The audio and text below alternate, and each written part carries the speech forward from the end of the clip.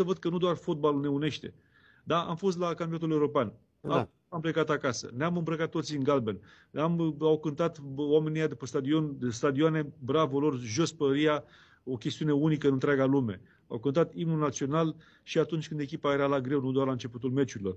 Da? Am văzut fel de fel de, de, de imagini astea și cu acel copil care a intrat pe teren să dea mâna cu portarul României, Niță. Frumos, corect, bun, bun, bun. Exemplu. Extraordinar, tot fantastic. Nu, nu, nu puteam să... Adică noi am trăit pentru aceste momente, da? Pentru asta a fost bucuria noastră. Felul, chiar și felul în care au părăsit vestiarul uh, cei de la echipa națională, cu curățenia aceea exemplară, cu scrisoarea de mulțumire către, către cei de la, din administrația stadionului și mai departe.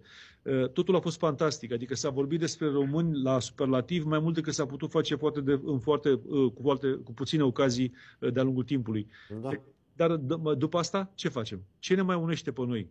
Ne poate uni și altceva în afară de fotbal? Dincolo de alte sporturi care sunt și ele poate cel puțin la fel de frumoase ca precum fotbalul, dar chestiuni care țin de viitorul chiar și de viitorul sportului românesc, adică sportul românesc ține de, de ceea ce noi trebuie să găsim uh, și în jurul căruia să ne unim. Domne, dorința de a schimba țara.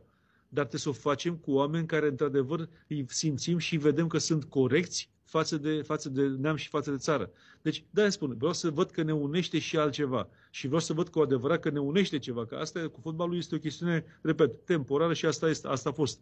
Dar o chestiune de, de fond pe care să o dăm mai departe și generații următoare, aia trebuie să găsim noi ca, ca și neam. Așa cum au alte popoare, cum au sârbii. Uitați-vă popoarele astea din partea asta a Europei, că sunt slovaci, că au fost că sloveni, că sunt sârbi, că sunt cutare, domnule, au o chestiune de, de, de, de chestiune interioară care le vine din generație, din generație și generație. Aia trebuie să găsim noi și să ne unească și să o dăm de la unul la altul uh, pentru generațiile viitoare. Asta e, e simplu, da? Hmm.